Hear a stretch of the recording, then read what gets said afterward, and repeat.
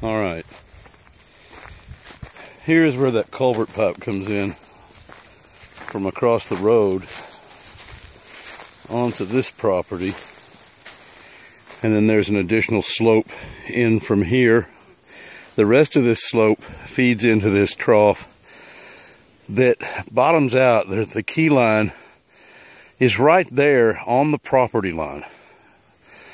And uh, at some point, the neighbor and I will probably put a pond in with the dam just this side of that pecan tree over there, which is right on his side of the line.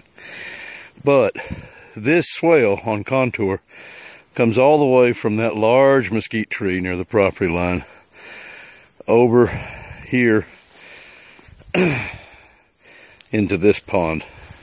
And this is how I have it so far drawn up. And this is a short, right there's the dam. Right there is sort of a bottoming out spot. And then there's another slope and it goes to another key line little, or bottoming out spot right there in the choke point further down for a second pond. And this is the only place on this part of the property, according to the neighbor and generally accepted lore, that uh, you can pond any water in without putting some kind of liner in it. Uh, I know that people like Sepp Holzer, like he says he can put a pond anywhere, and that may be true, but I can dig out a lot right here and be rocks and reeds up front, and then this is deep. Two deep ponds with swales. The next swale goes around that way, but I've already got it lined out here. We did this with a A-frame and then this is a big clump of trees that are just covered with wild grapes.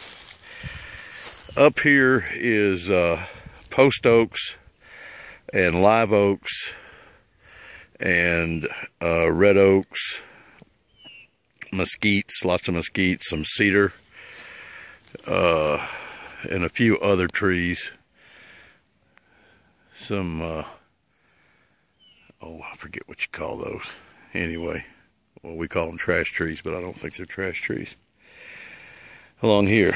And along these swales, I want pecans and chestnuts as the, uh, and oaks as the primary trees, and hickories and ash, and as the leguminous trees, I want uh, honey mesquite, honey locust. Um, I can put in uh, bluebonnets, which is the state flower, is also a leguminous ground cover, and uh, and they're beautiful. And black-eyed peas, uh, and Texas mountain laurel, which has a real showy flower and smells like grape Kool-Aid. Uh, those under there, and I want persimmons all along these swales. And hazelnuts as an understory. And You can use the uh, hazelnuts, you can coppice them, you can use them for food and fuel and feed. Uh, I could drill a well if I had the money. And one of the questions you're supposed to ask the client is whether they have more time than money or more money and less time and this property definitely falls under the more time less money i will be dead before this is done and i'm 50 now i would do something with the drive see these big chunks that came out of it in the rain and i will repair that but that's the first time in 30 years and i don't know if uh, this is the only part of the drive really that there's any gravel or road base on. And I don't know that once in 30 years is enough to worry about. I can shovel up that much road base that flowed into that low spot there where the pond is going to be and dump it right there with a wheelbarrow. So I, I, in the plan, I leave this exactly the way it is. And at certain stretches, it's more or less level and then follows the slope of the land down. And if this held water down here, then I could design in a pond and just keep building the road up depending on how big I wanted the pond to be. It could it could hook back in between those mesquite trees where that natural swale is in that third paddock over there. The land slopes again over along the property line. That low sort of trench, which used to be a trench uh, 50 or more years ago that they filled in, comes over onto this side of the property line and goes down my side all the way to the river acre from that point on. And if it held water, it's a great place for a series of uh, a series of small impoundments or one long one. I had convinced myself that I could put a series of ponds here with even a big one down where the road meets the levee if I was confident that it would hold because of course their house and stables are just on the other side of that. But and then from that create more or less a canal down the property line to where the drive comes in from the back road to operate as a fire break, as a uh, and also as a continuous water source for a series of paddocks through where that area between this levee here and the house where I have all those trees planted between that property line and where the driveway curves around. That is a series of paddocks still in the design but I've got to put swales into it but I would still wouldn't mind having a water source or a walla um, because one of my plans really would be to raise mulefoot hogs on pasture, rotational pasture, on some of the farm. Uh, they're a heritage breed. They're highly marketable. They're also just really good pork, apparently. And they're interesting, and it suits me. And some Dorper sheep, because they're good hot weather sheep.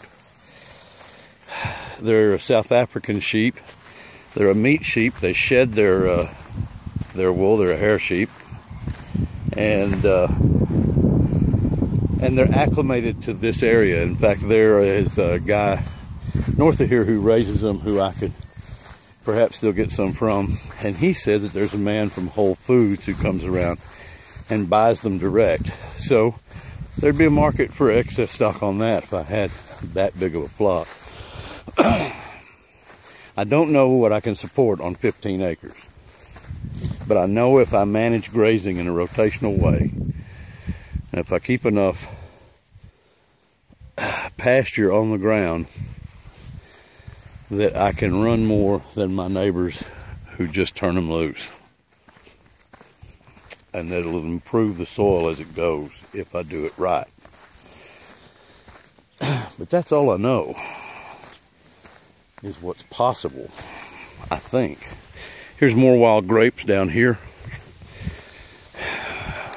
They're all over a clump of trees there. They're all over that clump of trees there. They make great wine and they make great jelly. They're pretty astringent. Make you pucker.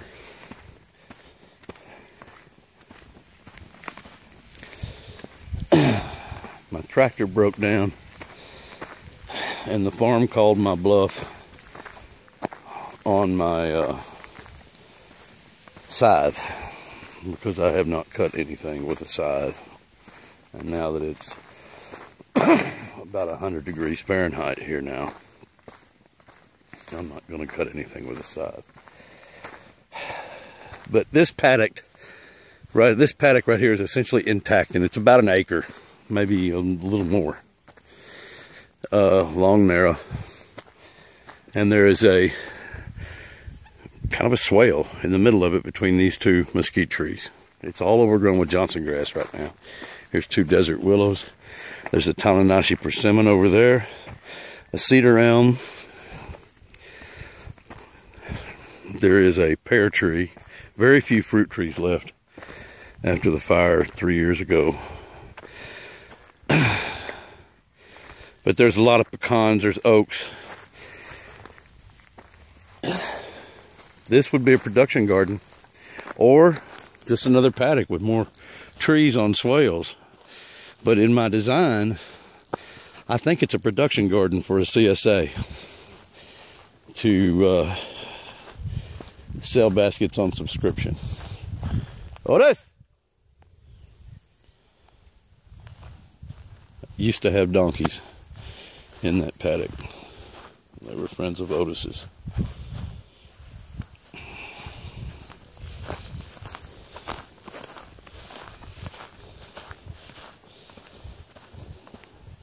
This was the middle paddock, which was smaller than the third and the first. There's a path down here that I had planted with elderberry, and there's a pomegranate, and there's a row of blackberries there, and planted some chestnuts here that didn't all make it. There's just one, I think, over here that made it. Uh, but this is where I was going to start planting fruit and nut trees thick and heavy with swales on contour such that there is. But before I plant anything, I want to mark out the rest of the swales here.